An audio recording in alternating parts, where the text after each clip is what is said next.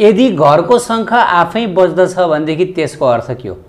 घरको शङ्खको मतलब पूजा कोठाको शङ्ख वा यज्ञशालामा स्थापित शङ्ख। अब आजकल त यस प्रकार घरमा पूजा कोठामा राखिएको शङ्ख अथवा यज्ञशालामा स्थापित गरिएको शङ्ख आफै बच्च बज्दैन त्यो त मलाई थाहा छैन। तर महाभारतको एक घटनामा भने शङ्ख आफै बजेको थियो। त प्रिय भक्त भागवत अब यो सुन्दर अनि अत्यन्त ज्ञानवर्धक रहस्यमय कथा म यहाँहरूलाई सुनाउन जाँदैछु। कुन अवस्थामा शङ्ख आफै बज्दछ? र शङ्ख आफै बज्नुको अर्थ के हो? राम्रो हो कि राम्रो होइन? कृपया सबैजनाले कृपया ध्यान दिएर सुन्नु होला। स्वपच वाल्मिकी नामक एक भगवान् श्रीकृष्णका महान भक्त हुनुहुन्थ्यो। स्वपच वाल्मिकी भनेको स्वपचको अर्थ कुकुरको मांस खाने जातलाई स्वपच भनिन्छ। त यहाँ जो वाल्मिकी भक्तको बारेमा बताइयो यी वाल्मिकी भक्त महाकाव्य रामायणका रचनाकार हुनुहुन्न। यहाँ महाभारतका वाल्मिकी हुनुहुन्छ है। कृपया हजुरहरूले यो कुरा बुझिदिनु होला उहाँ भगवान् कृष्णका एक महान भक्त हुनुहुन्थ्यो। आफ्नो भक्तिलाई गुप्त राख्नु हुन्न थियो आफ्नो भक्तिलाई गुप्त राख्नु आफ्नो भक्तिलाई गुप्त राख्नुहुन्थ्यो सबैतिर आफ्नो भक्तिलाई गुप्त राख्नुहुन्थ्यो सर्वत्र देखाउनुहुन्न थियो एकपटकको कुरा हो धर्मपुत्र राजा युधिष्ठिरले अत्यन्त ठुलो यज्ञ गरिरहनु भएको थियो। त्यसमा यति धेरै ऋषि महर्षिहरू आउनुभएको थियो कि सम्पूर्ण यज्ञ स्थल ऋषि महर्षिहरूद्वारा भरिभराउ भएको थियो। अनि भगवान् श्रीकृष्णले के गर्नुभयो? भगवान् श्रीकृष्णले एउटा विशाल शङ्खलाई ल्याउनुभयो। र यज्ञशालामा स्थापित गरिदिनु भयो र भन्नुभयो पाँच पाण्डवलाई हे पाँच पाण्डवगण यो जुन यज्ञको साङ्गेको दिन छ नि हो साङ्गेको दिन यो शङ्ख आफै बज्नु पर्छ। यदि यो शङ्ख आफै बज्नु भएन भने यो मान्नु पर्यो कि तपाईँहरूले गर्नुभएको यज्ञ सफल भएन भनेर। त भगवान्ले शङ्ख स्थापना गरिदिनु भयो भगवान्ले भन्नुभयो यदि यो शङ्ख बजेन भनेदेखि यज्ञमा केही त्रुटि भयो भनेर जान्नु है। अनि भयो त्यही। भगवान्ले शङ्खको स्थापना गरिदिनु भयो यज्ञ पनि समाप्त भयो तर पनि शङ्ख बजेन। पूर्णाहुति पनि भयो यज्ञको तर्पण भयो ब्राह्मण भोजन भयो। आउनुभएका सम्पूर्ण ऋषि महर्षि ब्राह्मणहरूलाई दान दक्षिणा आदि सम्पूर्ण कार्यहरू विधिपूर्वकमै भयो। कुनै पनि त्यस्तो किसिमको त्रुटिहरू भएन तर पनि शङ्ख बजेन। सबैको मनमा चिन्ता भयो यति दुःख कष्ट गरेर यज्ञ गरियो। तर शङ्ख बज्नु भएन यसको मतलब हाम्रो यज्ञ त्रुटिपूर्ण भयो भन्ने किसिमको सबैको मनमा लाग्यो। श्रीकृष्ण भगवान्सँग आएर सबैजनाले हात जोडेर हे प्रभु हामीबाट ठुलो भुल भयो कि क्या हो? हामीहरूले ठुलो गल्ती गऱ्यौँ हामीबाट अपराध भयो कि? हामीले गरेको यज्ञ सफल भएन। त भगवान् श्रीकृष्णले भन्नुभयो हे पाण्डवगण शङ्ख नबज्नुको कारण अब सबैले ध्यान दिएर सुन्नुहोला। यद्यपि ऋषिहरूको समूह चारै दिशाबाट आउनुभयो र तपाईँहरूको यज्ञ स्थलभरि भराउ भयो सबैले राम्रोसँग भोजन आदि गर्नुभयो। तर रसिक वैष्णवले भोजन प्राप्त गर्नु भएन। त्यसै कारणले गर्दाखेरि तपाईँहरूको यज्ञ सफल भएन। हेर्नुहोस् है भगवान्ले भन्नुभयो साराले भोजन प्राप्त गर्नुभयो। तर रसिक वैष्णवले भोजन गर्नु भएन अब तपाईँहरू भन्नु होला के यो यज्ञशालामा आउनुभएका यत्र यत्र महान ऋषिहरू हजुरका भक्त हुनुहुन्न र वैष्णव हुनुहुन्न र भगवान्ले भन्नुभयो म त्यस्तो पनि भन्दिनँ वास्तवमा सबैजना भक्त हुनुहुन्छ सबैजना भक्त हुनुहुन्छ तर पनि म मेरो हृदयको एउटा गुप्त कुरा बताउँछु म त्यो भक्त त्यो वैष्णवलाई सर्वश्रेष्ठ रसिक वैष्णव मान्दछु जसमा आफ्नो विद्या आफ्नो जाति र आफ्नो ज्ञान आदि कुनै कुरामा पनि अहङ्कार हुँदैन रत्ती पनि अहङ्कार हुँदैन। निरङ्कारी भक्तलाई नै म रसिक भक्त भनेर पुकार्दछु। हेर्नुहोस् है। अनि त्यो भक्तले आफूले आफूलाई मेरो दासको पनि दास सोच्नुहुन्छ। यस्तो भक्त रसिक वैष्णव हुनुहुन्छ। हो हजुरहरूले यस्तो रसिक वैष्णवलाई ल्याएर भोजन गराउनुहोस्। त्यसपछि यो शङ्ख आफै बज्नुहुन्छ। भोजन गराएर त हेर्नुहोस् त। जसमा अलिकति पनि अहङ्कार छैन यस्ता रसिक वैष्णवलाई मैले कहाँ र कुन लोकबाट ल्याउँ प्रभु भनेर युधिष्ठिर महाराजले भगवान्लाई भन्नुभयो। त भगवान्ले भन्नुभयो होइन होइन महाराज युधिष्ठिर यस्ता रसिक वैष्णव हजुर केही नगरमा निवास गर्नुहुन्छ। युधिष्ठिर महाराजले भन्नुभयो हो र प्रभु। अनि भगवान्ले भन्नुभयो दिनरात बिहान बेलुका यही हजुरको महलमा आउनुहुन्छ। कसैले पनि उहाँलाई चिन्नुहुन्न तर उहाँले भने तपाईँहरू सबैलाई चिन्नुहुन्छ। अनि यो सुन्ने बित्तिकै अत्यन्त आश्चर्यचकित हुनुभयो युधिष्ठिर महाराज।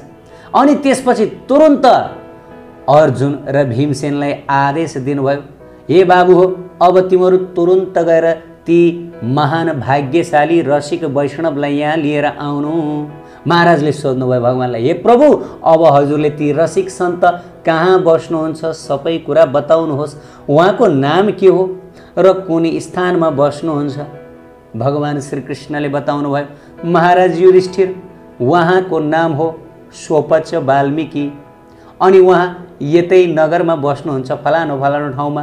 अन्तर्यामी परमात्मा श्रीकृष्णले सम्पूर्ण कुरो बताइदिनु भयो। भगवान्बाट रसिक वैष्णवको स्थान ठेगाना प्राप्त गर्ने बित्तिकै अर्जुन र भीमसेन तुरन्त रथमा सवार भएर हिँड्न भनेर लाग्नुभएको थियो। त्यत्तिकैमा भगवान् श्रीले अर्जुन र भीमसेनलाई सतर्क गर्दै हृदयको कुरा सुनाउनु भयो। हे अर्जुन हे भीमसेन एउटा कुरा ध्यान दिएर सुन्नुहोस्। भगवान्ले भन्नुभयो यी जो भक्त हुनुहुन्छ यी साँच्चै नै सर्वहितकारी हुनुहुन्छ। थोरै मात्र पनि यी भक्तमा अहङ्कार छँदै छैन। विकार शून्य हुनुहुन्छ। त्यस कारणले गर्दाखेरि यी रसिक वैष्णवको सामु जाँदा अलिकति पनि उहाँको चरणमा अपराध नहोस्। तपाईँहरूले अलिकति पनि उहाँको चरित्रमा सन्देह नगर्नुहोला। नत्र भनेदेखि अनर्थ हुन सक्छ। तपाईँहरूकै भक्ति पनि ह्रास हुन सक्दछ। यो कुरामा ध्यान दिनुहोला उहाँको चरित्र अलिकति बुझ्न गाह्रो होला। त्यस कारणले सावधान रहनुहोस्। त भगवान्ले जब यस प्रकार भन्नुभयो त्यसपछि भगवान्को आदेश प्राप्त गरी अर्जुन र भीमसेन रथमा सवार भएर सोपच वाल्मिकीको घरमा जानुभयो। र सोपच वाल्मिकीको घरमा जाने बित्तिकै उहाँहरूले देख्नुभयो कि सोपच वाल्मिकी भगवान्को कीर्तनमा तन्मय भएर बसिरहनु भएको थियो।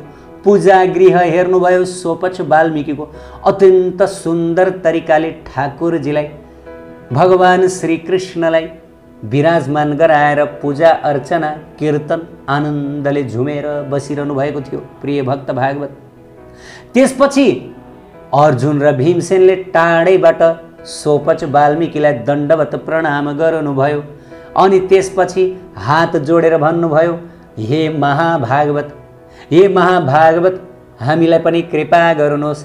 हामीमा पनि यस्तै भक्ति हजुरले प्रदान गर्नुहोस्। अब हजुरहरूको सेवा गर्ने अवसर प्रदान गर्नुहोस्। हामी हजुरहरूलाई हाम्रो राज्यमा लिएर गएर महलमा लिएर गएर भोजन आदिको सेवा गर्न चाहन्छौँ। हजुर आफ्नो उच्छिष्ट प्रदान गरेर हामीहरूमाथि कृपा प्रदान गर्नुहोला भनेर यस प्रकार अर्जुन र भीमसेनले भन्नुभयो। जब आफ्ना राजा आफ्नो घरमा अचानक खबरै नगरिकन आउनुभएको देखेपछि ती सोपच वाल्मिकी विनम्र स्वभावका हुनुहुन्थ्यो सिधा सादा हुनुहुन्थ्यो। एकछिन त हडबडाउनु भयो लौन के गर्ने कसो गर्ने? महाराजाहरूको सेवा सत्कार कसरी गर्ने? भनेर चाहिँ रातो निलो हुनुभयो। एकदमै केही बोल्नै सक्नु भएन। तर एकैछिनपछि धैर्य धारण गरेर बोल्नुभयो आहा आज मेरो घरमा साक्षात् भगवान्का पार्षदहरू पाल्नुभयो। मेरो घर आज वैकुण्ठ भयो गोलोक भयो भन्न थाल्नुभयो। अनि भन्न थाल्नुभयो हे महाराज म त हजुरको दास हुँ सेवक हुँ। हजुरहरूको उच्छिष्ट चाहिँ मैले सेवन गर्नु पर्दछ। मेरो उच्छिष्ट सेवन गर्ने यो कुरै नगर्नुहोला। हजुरहरूको बरु उच्छिष्ट मलाई प्रदान गरेर यो दासमाथि कृपा गर्नुहोला। जब यस प्रकार सोपच वाल्मिकीले भन्नुभयो दुई भाइ अत्यन्त प्रसन्न हुनुभयो ओहो साँच्चै नै उच्च कोटिको भागवत हुनुहुँदो रहेछ भनेर तिनचोटि परिक्रमा गर्नुभयो र भन्नुभयो हे प्रभु हे महाभागवत अब कुनै पनि हालतमा हाम्रो गृहमा पाल्नुहोला हजुरको प्रसाद उच्छिष्ट प्रदान गरेर हामीहरूको पनि पाप राशिलाई नष्ट गरिदिनुहोला त अर्जुन र भीमसेनले यस प्रकार सविनय अनुरोध गरेर त्यहाँबाट आफ्नो महलतर्फ प्रस्थान गर्नुभयो अर्जुन र भीमसेन दौडी दौडी आएर महाराज युधिष्ठिरलाई वाल्मिकी भक्तको बारेमा सुनाउनु भयो। महान रसिक भक्तको बारेमा सुनेर युधिष्ठिर महाराज पनि खुसीले गदगद हुनुभयो। भक्तको चरणमा प्रेम प्रकट भयो। अनि भगवान् श्रीकृष्णले द्रौपदीलाई पनि आदेश दिनुभयो हे द्रौपदी तिमी त एकदमै मिठो मिठो पकाउन सक्छौ भनेर प्रसिद्ध छौ। अब भोलि रसिक वैष्णव आउँदै हुनुहुन्छ।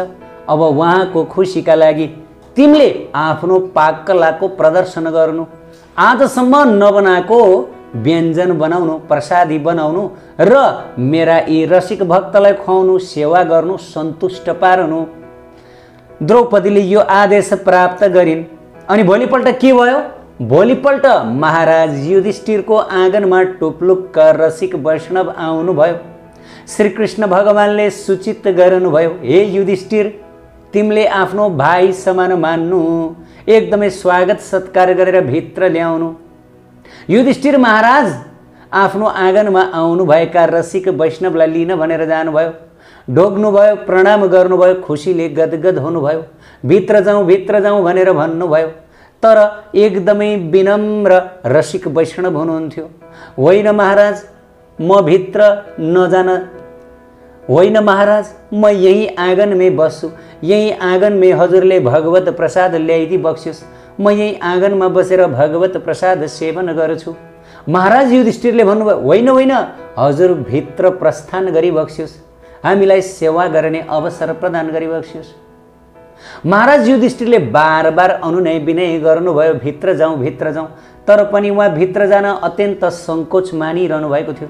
अन्तिममा महाराज युधिष्ठिरले आफ्नो हातैमा बोकेर ती वाल्मिकी भक्तलाई भित्र लिएर जानुभयो। आसन तयार गरिएको थियो आसनमा राखियो। अनि द्रौपदीले सुनको थाल सजाउनु भएको थियो वरिपरि सुनका कचौराहरू सजाउनु भएको थियो।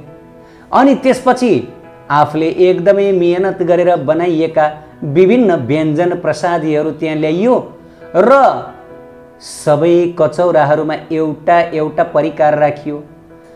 त्यो हेर्दा लाग्थ्यो कि त्यो एक हजार आठ भोग लगाइएको थियो जस्तो। हेर्नुहोस् है त पाँच पाण्डवहरूले बडो स्वागत सत्कार गर्नुभयो सेवा गर्नुभयो कसैले पङ्खा हल्लाउनु भयो कसैले चमर हल्लाउनु भयो कसैले स्तुति गर्नुभयो। अनि द्रौपदीले पस्कनु भयो आफूले बनाएका परिकारहरू एक एक गरी। तर भइदियो के भने रसिक वैष्णवले द्रौपदीले थालीमा राखिदिनुभएका जति पनि व्यञ्जनहरू छन् ती सम्पूर्ण व्यञ्जनहरूलाई मुछेर एकै ठाउँमा खिचडी जस्तो बनाएर खान थाल्नुभयो। रसबरी खिर सन्देश पुलाउ हलुवा पुरी जे जति छ ती सबैलाई एकै ठाउँमा मिसाएर मुछेर खिचडी जस्तो बनाएर खान थाल्नुभयो। जब रसिक वैष्णवले एक गाँस आफ्नो मुखमा हाल्नुभयो त्यतिकैमा शङ्ख बज्नुभयो। सबैले शङ्ख बजेको आवाज सुन्नुभयो। तर पनि शङ्ख राम्रोसँग बज्नु भएन। बज्ने नबज्ने बज्ने नबज्ने हुनुभयो। प्रिय भक्त भागवत रसिक वैष्णवले भोजन गरिसक्नुभयो। भगवान् श्रीकृष्णले गएर शङ्खलाई सोध्नुभयो रसिक वैष्णवले भोजन गर्दा पनि हे शङ्ख तिमी किन राम्रोसँग बजेनौ? शङ्ख भगवान्सँग भयभीत भएर हात जोडेर हे प्रभु हे प्रभु यसमा मेरो केही दोष छैन। म त आवाज निकाल्न खोजिरहेको थिएँ तर आवाज नै आइरहेको थिएन। यसको कारण हजुरले द्रौपदी महारानीलाई सोधिबक्स्योस्। त भगवान् श्रीकृष्ण अब द्रौपदीकोमा जानुभयो।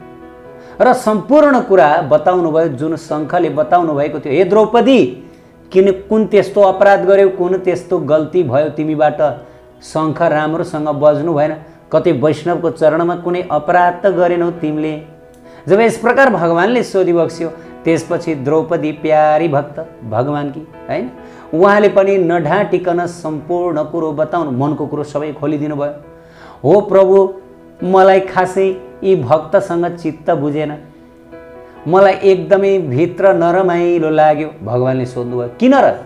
किन नरमाइलो लाग्यो तिमी प्रभु हेर्नु न मैले यति दुःख कष्ट गरेर यत्र व्यञ्जन प्रसादीहरू बनाएँ। यति पसिना चुहाएँ मैले।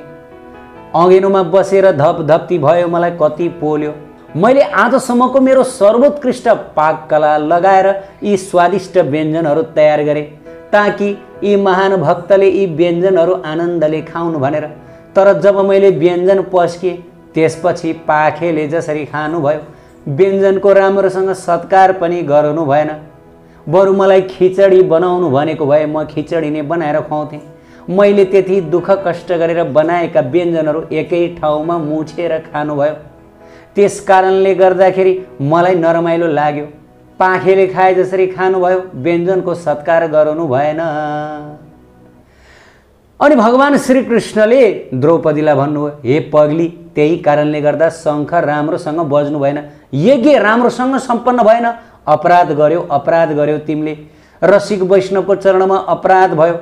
मनबाट भए पनि अपराध भयो। अब तुरुन्त गएर रसिक वैष्णवको चरणमा परिहाल माफ मागिहाल त्यसपछि द्रौपदीले भगवान्को आदेश बमोजिम रसिक वैष्णवको चरणमा गएर ढोगी दिनुभयो प्रणाम गर्नु माफ माग्नुभयो। हे प्रभु माफ गरी बक्सियोस् हजुर महान भक्त हुनुहुन्छ। मैले चिन्न सकिनँ।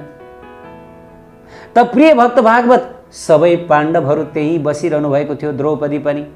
अनि भगवान् श्रीकृष्ण जो अन्तर्यामी परमात्मा हुनुहुन्छ अब पाँच पाण्डवहरूलाई एउटा अत्यन्त महत्त्वपूर्ण शिक्षा दिन चाहनुभयो आफ्ना रसिक वैष्णवको मार्फतबाट भगवान् श्रीकृष्णले रसिक वैष्णवलाई सोध्नुभयो हे वैष्णवज्यू यत्रा प्रकारका व्यञ्जनहरू छन्। एउटा एउटा व्यञ्जन गरी खानुपर्ने ठाउँमा हजुरले सबै व्यञ्जन मिसाएर एकैचोटि एउटै डल्लो पारेर खानुभयो। यसको रहस्य के हो कृपया बताइदिनुहोस्। त्यसपछि रसिक वैष्णवले बताउनुभयो हे प्रभु हे गोविन्द यी जति पनि व्यञ्जनहरू छन् यी सम्पूर्ण व्यञ्जन हजुरलाई भोग लागिसकेको छ। त्यही भएर यी सबै व्यञ्जन हजुरका महाप्रसाद हुन्। अत पदार्थ बुद्धिले अलग अलग स्वादमा कसरी लिउँ पदार्थ त एकपछि अर्को गर्दै खाँदा कुनै रुचिकर लाग्ला कुनै अरुचिकर लाग्ला अर्थात् कुनै मिठो लाग्ला कुनै नमिठो लाग्ला। अनि यहाँ त भोजन बुद्धि भयो प्रसाद बुद्धि भएन। त्यस कारणले हे प्रभु भोजन बुद्धि नहोस् प्रसाद बुद्धि नै होस् मैले प्रसाद सेवन गरिरहेको छु भन्ने होस् भनेर नै मैले यो सम्पूर्ण व्यञ्जन प्रसादीलाई मिसाएर खाएको हुँ ताकि मेरो जिब्रोले प्रसाद खाओस् भोजन नखाओस्। जब यस प्रकार सोपच वाल्मिकी भक्तको मुखारविन्दबाट पाँच पाण्डवले सुन्नुभयो द्रौपदीले सुन्नुभयो सबैजना चकित पर्नुभयो। ओहो हो हो। यति महान भक्त हुनुहुँदो रहेछ। जसले भोजन बुद्धिले होइन प्रसाद बुद्धिले भगवत प्रसाद सेवन गर्नु हुँदो रहेछ। जसले स्वाद लिन होइन भगवत प्रसादको सेवा गर्नको लागि प्रसाद लिनु हुँदो रहेछ। त पाँच पाण्डवहरूले प्रणाम गर्नुभयो आशिष माग्नुभयो रसिक वैष्णवले पनि प्रणाम गर्नुभयो सेवा स्वीकार गरेर त्यसपछि आफ्नो घर फर्किनुभयो। त प्रिय भक्त भागवत यो कथाबाट हामीहरूले ठुलो ज्ञान लिन सक्दछौँ। एउटा के हो? कि हामीहरूले भगवान्का शुद्ध भक्तहरू वैष्णव रसिकहरूको सेवा गर्नको लागि सधैँभरि हामीहरू तम तयार रहनुपर्छ। कसरी म सेवा गरौँ? किनकि रसिक वैष्णवहरूको सेवा नगरिकन हामीले जुन सङ्कीर्तन गरिरहेका छौँ जुन यज्ञ गरिरहेका छौँ कुनै पनि हाम्रो धार्मिक कार्य अथवा हाम्रो भगवत भक्ति अपुरो रहनेछ जसरी शङ्ख बज्दैन। यज्ञशालाको शङ्ख बजेन नि? किन? किनकि रसिक सन्तलाई प्रसन्न नपारेको भएर। हामीहरूले जीवनमा भगवान्का शुद्ध निरङ्कारी रसिक भक्तहरूलाई प्रसन्न पार्यो भनेदेखि त्यसपछि शङ्ख आफै बज्नी रहेछ भनेर बुझौँ। अनि अर्को दुई नम्बरको हामीहरूसँग जे जति कला छ चाहे त्यो पाक कला होस् चाहे त्यो कुनै कुनै पनि कला होस् त्यो कलाको सदुप्रयोग हामीहरूले भगवान्का शुद्ध भक्तहरूलाई प्रसन्न पार्नको लागि उहाँहरूको सेवा गर्नका लागि अर्पण गर्नुपर्दछ। तब मात्रै त्यो पूर्ण हुन्छ भनेर बुझ्नु होला अनि तेस्रो नम्बर वैष्णवको चरणमा मानसी रूपमा पनि अपराध गर्नुहुन्न। जसरी द्रौपदीले मानसी अपराध गर्नुभयो नि मनले सोच्नुभयो नि कस्तो पाक्यो होला। भोजनलाई राम्रोसँग खान नजान्ने भनेर।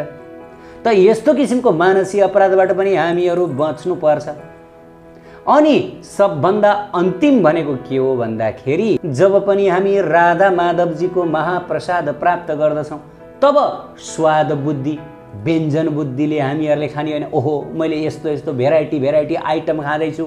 ओहो पनिर ओहो रसबरी ओहो दही ओहो पुरी हलुवा। यो बुद्धिले प्रसाद सेवन गर्ने होइन। हामीहरूले कुन बुद्धिले प्रसाद सेवन गर्ने यी सबै भगवत स्वरूप हुन्। त्यस कारणले भगवत स्वरूपको मैले सेवा गर्दैछु भनेर प्रसाद सेवन गर्ने अर्थात् प्रसाद बुद्धिले भोजन बुद्धिले होइन प्रसाद बुद्धिले आइटम बुद्धिले होइन प्रसाद बुद्धिले मैले प्रसादको सेवा गरिरहेको छु भनेर यस प्रकार प्रसाद ग्रहण गर्नुपर्दछ भनेर भगवान्ले यो शिक्षा दिन चाहनुभयो। त हामीले यही कुरा सिक्नुपर्छ प्रिय भक्त भागवत। राधे राधे हरे कृष्ण।